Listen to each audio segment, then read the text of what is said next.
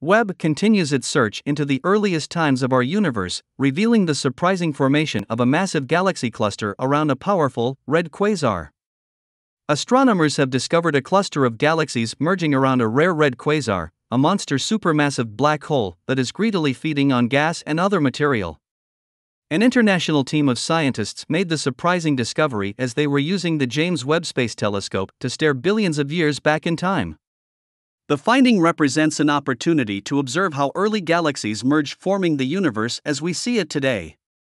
The blindingly bright quasar, an extremely red quasar, known as SDSS J165202.64 plus 172852.3, is about 11.5 billion years old and one of the most powerful ever seen from a such tremendous distance away, according to the researchers, who describe it as a black hole in formation. We think something dramatic is about to happen in these systems, Andre Vayner, research co author and an astrophysicist at Johns Hopkins University in Maryland, said in a statement. The galaxy is at this perfect moment in its lifetime, about to transform and look entirely different in a few billion years. Earlier observations of this region of space using the Hubble Space Telescope and the Gemini North Telescope in Hawaii had revealed the quasar and hinted at a galaxy in a transitional phase. But it was only further observation with JWST that revealed not one but at least three galaxies all swirling around the quasar. With previous images, we thought we saw hints that the galaxy was possibly interacting with other galaxies on the path to a merger because their shapes get distorted in the process, and we thought we maybe saw that, Nadia L. Zakamska, co principal investigator and Johns Hopkins astrophysicist, said in the same statement. But after we got the JWST data, I was like, I have no idea what we're even looking at here, what is all this stuff? We spent several weeks just staring and staring at these images.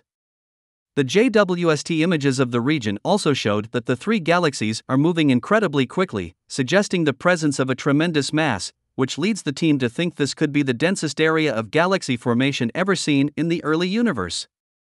Even a dense knot of dark matter isn't sufficient to explain it, Dominika Wylezalek, an astronomer at Heidelberg University in Germany who led the research, said in a web statement. We think we could be seeing a region where two massive halos of dark matter are merging together. Even Vayner, who had imagined observing this quasar with JWST as much as a decade ago, was shocked that the Space Telescope, which only started sending science images back to Earth in July, has produced observations of the region with such clarity. It really will transform our understanding of this object, he added. The team will now attempt to follow up this observation of this unexpected galaxy cluster, hoping to decipher the secrets of how such dense groupings of galaxies formed in the early universe and how this process is affected by the supermassive black holes that lurk at their hearts. What you see here is only a small subset of what's in the dataset, Zakamska said. There's just too much going on here, so we first highlighted what really is the biggest surprise, she said. Every blob here is a baby galaxy merging into this mommy galaxy, and the colors are different velocities, and the whole thing is moving in an extremely complicated way. We can now start to untangle the motions.